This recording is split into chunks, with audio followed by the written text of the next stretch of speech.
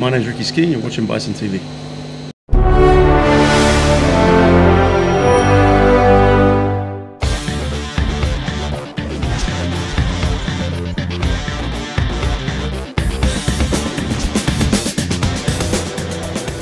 Team with a difference made the trip to Basingstoke on Saturday as the Chelmsford Chieftains looked to cause an upset in the EIHA English Challenge Cup. A new but familiar face was in the Bison lineup as Ricky Skene made his return to the herd.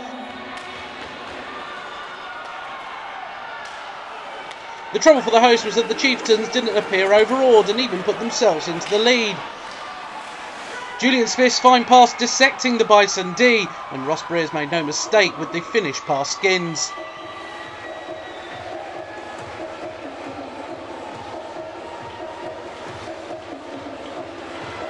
The Bison, though, were soon into their stride and brought the game level at the end of the first.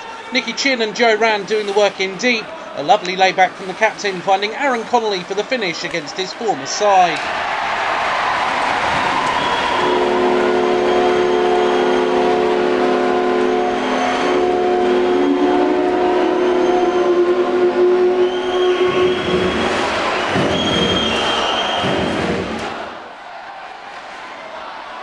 Into the second, and Tomas Karpov was the next to try and bring the Bison the lead, but Ben Clements was delivering the goods in the Chelmsford net.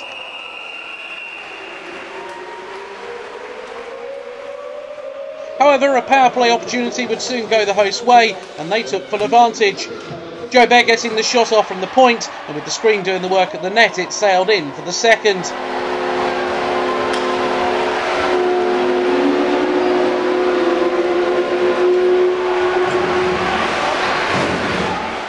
The pace the Bison could execute would prove a few issues for the Chelmsford defence. Joe Greener opening up a bit of space before firing back to Kieran Long on the blue line. His shot initially hitting the post, but taking an unfortunate bounce off Clements for the third to round off the scoring in the second.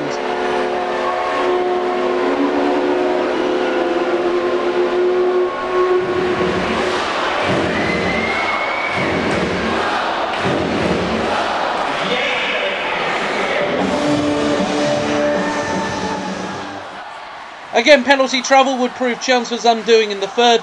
This time, a double power play going the Herd's way. And after some neat build up play around the net, Long once again stepped in to fire one into the net.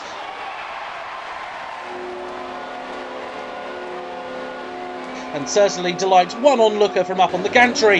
Hey, at least it's not those jazz hands, folks.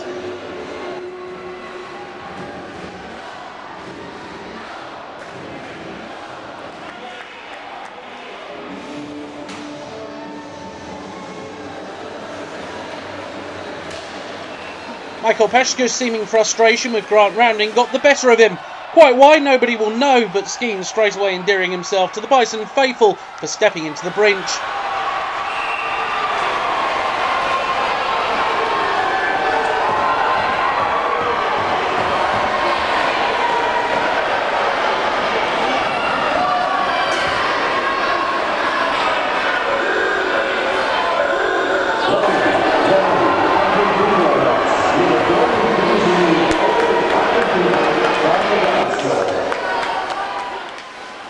Could have been a lot worse for the Chieftains, but once again Clements was proving his quality in net. A fine save followed up by the perfect reaction to keep the Bison at bay.